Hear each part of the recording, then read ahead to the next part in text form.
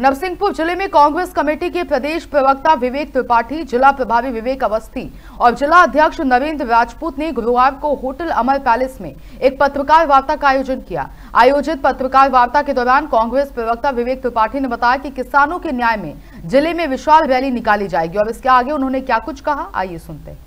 Madhya Pradesh Congress committee के निर्देश अनुसार 20 सितंबर को पूरे में किसान न्याय यात्रा का आयोजन किया जा रहा है, जिसमें मध्य प्रदेश के जो परेशान किसान हैं, जो अपने